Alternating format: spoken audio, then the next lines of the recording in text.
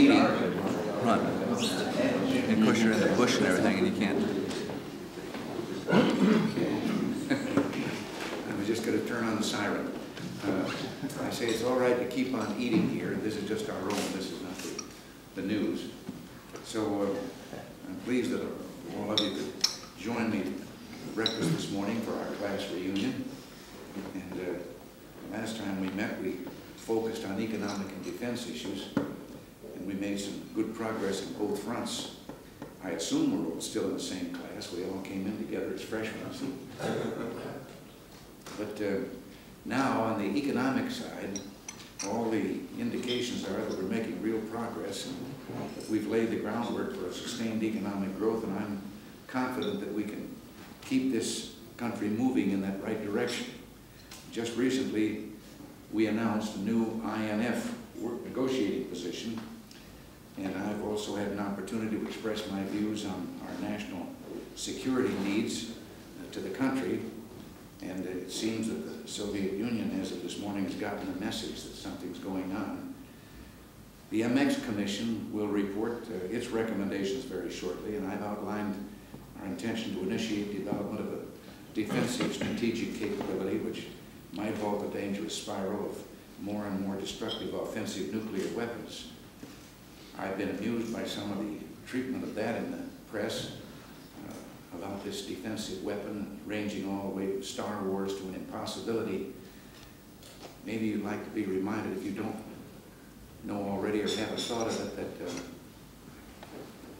Admiral Leahy in World War II was vehement in his presentation to Franklin Delano Roosevelt that the atomic bomb could never succeed and would not even go off. And then a few years later, when Eisenhower was president, Vannevar Bush, great nuclear scientist, said that the idea that you could create a missile that could emerge from a silo in this country and land on a target in another, in another continent was absolutely impossible, never could be done. I only say that for those people that say that it's impossible to find a defensive weapon. Uh, I'll say that if we try and, and can't find it. I think a good deal of our success so far and what has been accomplished has been the kind of teamwork we've seen operating between the administration and the Republican Senate. And I hope this will continue in the months ahead as we consider the important legislative items that are on the agenda. Speaking of the agenda, I think the 98th Congress is already off to a good start, having passed both the jobs bill and the major Social Security package. And I appreciate your help on these two important matters. I know that those of you who are members of the Budget Committee are in the midst of marking up the first concurrent budget resolution, and that'll be a very important item on everyone's agenda. I'm particularly concerned, as some of you know, about the defense function. I've reviewed our defense program carefully and will continue to do so, but I believe that it does reflect basic requirements that we must have to rebuild the defenses in a useful time frame. I know there's some disagreement on this matter, but I hope you'll remember that we have already modified the defense program several times and simply can't afford a large reduction, another one this year. When the debate starts, I hope you'll remember that in 81, when we proposed the increase over the Carter projected defense budget of $116 billion, that since then, we've reduced that 116 by $60 billion ourselves, and we'll continue to try and find every area we can. As I mentioned earlier, we'll also have that MX Commission's report shortly, and I hope that this is something that will be favorably received by the Congress. We'll be working closely with the Hill on this issue, and I'll have more to say about this in the near future when I receive all the details from the Commission. We've also been working very hard on a number of foreign policy issues, El Salvador, the arms control negotiations. One item of particular concern to me is the nomination of Kenneth Adelman to serve as Director of Arms Control and Disarmament Agency. I have every confidence in his ability, and I know that he can serve as a strong and effective advocate of the arms control. And I hope that the Senate will act expeditiously and approvingly on this ratification. There are a number of other thing, items I know we should discuss, and I also want to have an opportunity for some general discussion. So before I do that, I'm going to quit talking, and I am going to ask our distinguished majority leader for a few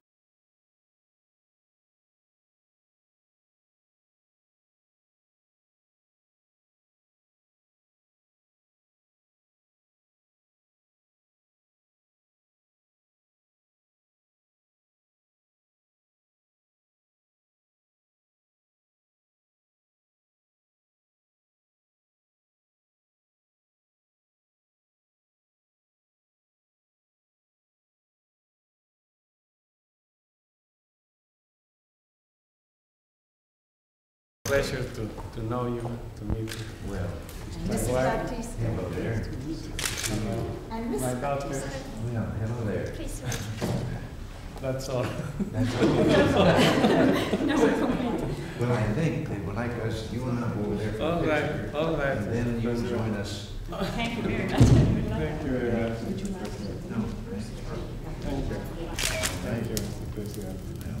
And uh, I, I, I want to, to give you this little bit about the, the natural disaster that we have now confronted in this country. Maybe we can, you can help us with, uh, with uh, an airplane to take all, what all the Bolivian residents have uh, uh, collected here to, to bring to, to Bolivia, as, as we did in Colombia. Oh, well, Maybe you let me- can help me. Let me look into what. If it's can do. possible. If it is, I I certainly, uh, Thank you very much. I want to do, do all that we can to help, and we certainly offer our sympathy in that Thank you very much. disaster. Thank you very much. We, uh, You know that we have a very uh, new, uh, uh, young democracy, it's, uh, six months old. We have Yes. Eighteen years of military regime. I know. which Were disastrous for my country. So we are trying to build up I know, and uh, we appreciate what you, your cooperation. We know, and we are very Drug traffic grateful, we are very grateful for what you have done to us. We, hope we can be of help your economic problems. Thank you very much. All right.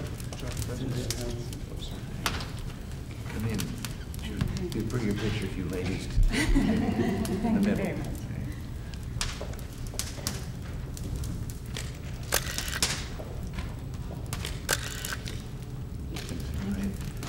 And I assure you, it doesn't always rain in Washington. Oh, it's lovely. It's, it's lovely, so wonderful. But I understand, you know, in our country, California, all the way across, we've been having more warm than is ever normal. But I understand at the same time that down to the South Panama and around there, and around the world, the Hawaiian Islands are having a drought. I guess- That's what we have In now. our country. You We have a thing. You are- flat. We and have a flat drought. in one part, the country and drought in the other. Well, It's all over. well, welcome. Well, thank you very very much. much, Mr. Mr. President. President. Thank you so much. Well, Thank you very Pleasure to know you. Nice to well, nice to see you and have you here. You're. Maybe one of the nice young presidents. Oh, we haven't had one in a while. I don't know for sure from that area.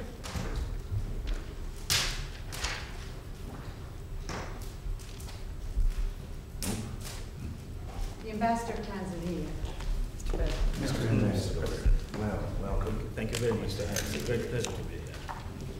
And Mrs. Mkapa. How do you do? It's good to see you and to have you here. You and I will go over there, get a picture taken, and then you will come in and join us for a picture.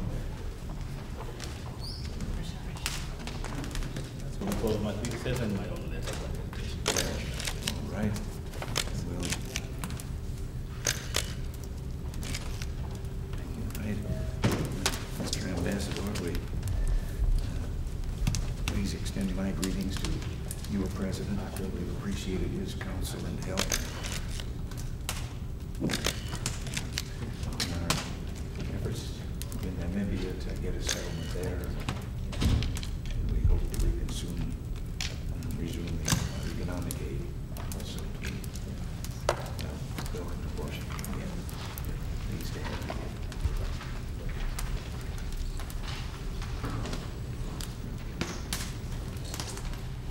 Trinidad and Tobago. Mr. President, great honor indeed. Well, Great, great honor.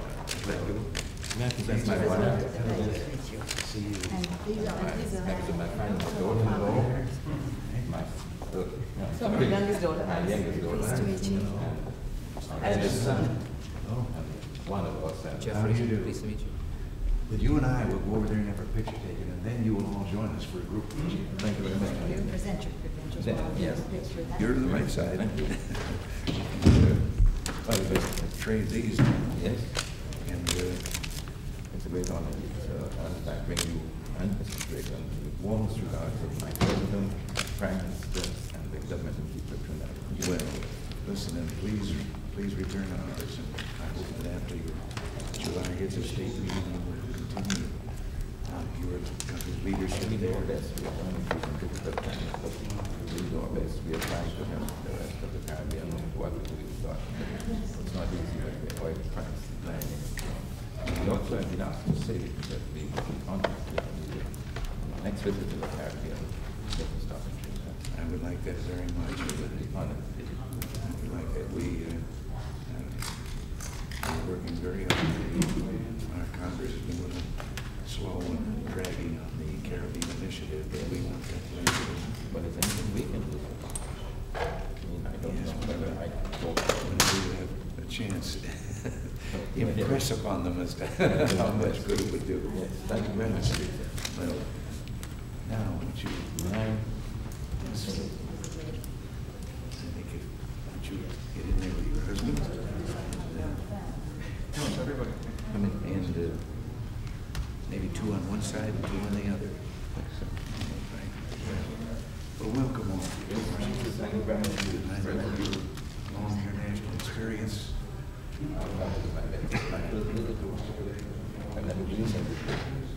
Wonderful, memorable occasion for all of us. Thank you very much. Be sure it doesn't rain at home. Thank you very much, sir. Pleased to have you. Thank you.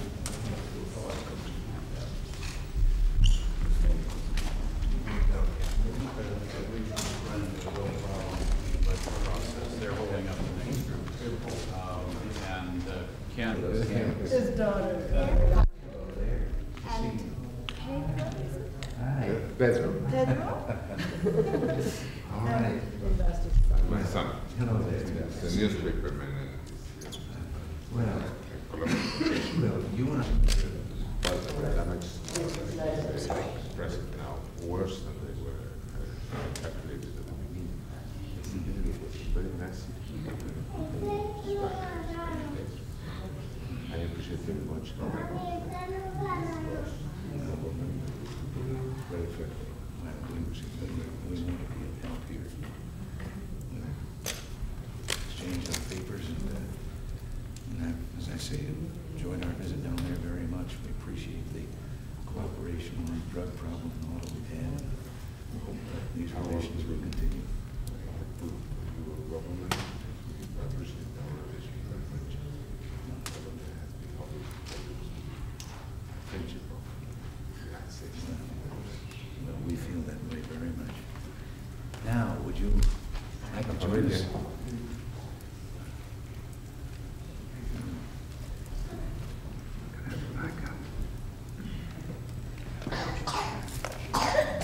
Yes. It must be, I think they want us to kind of squeeze in. All right, we have to squeeze it a little bit.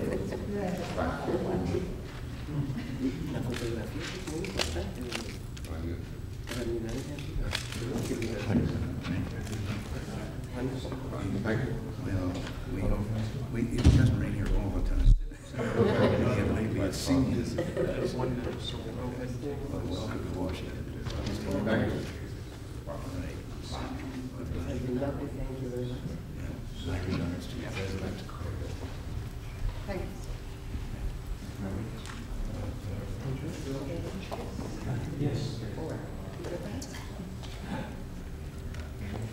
The ambassador of the People's Republic of China.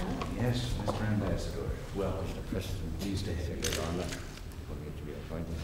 And Madame. I think they want a picture of you uh -huh. seated over here for a few minutes, yeah. and we'll exchange our yeah. papers, and then we'll all get up in front of the fireplace, and you can join us, and we'll have a picture. Now, I can't.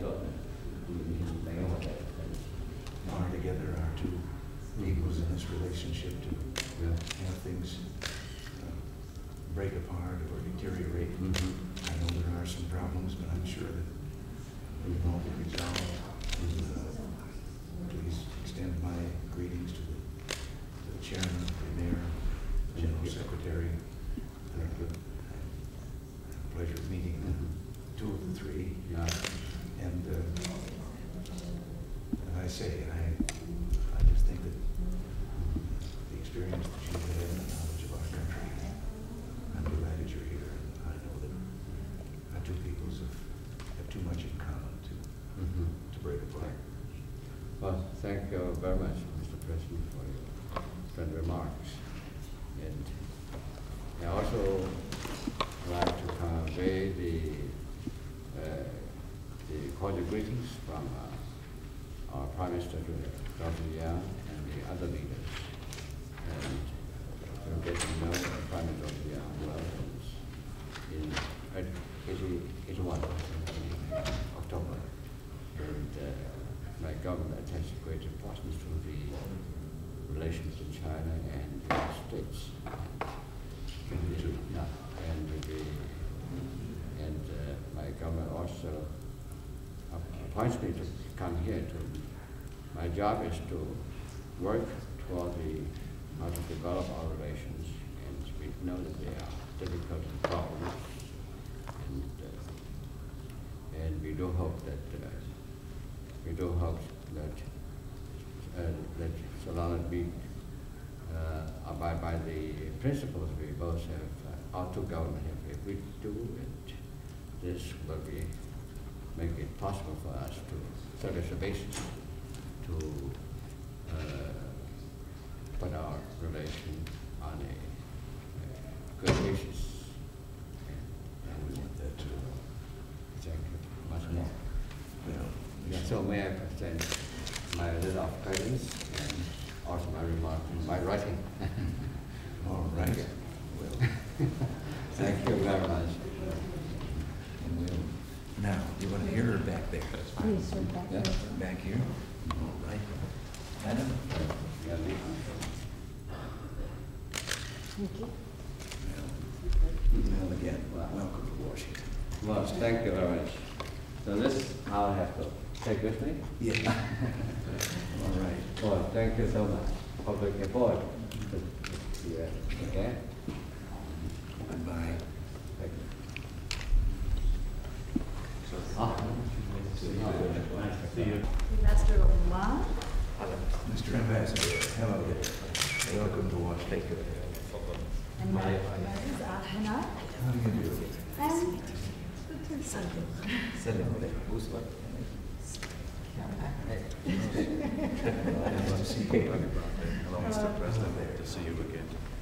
And to to to.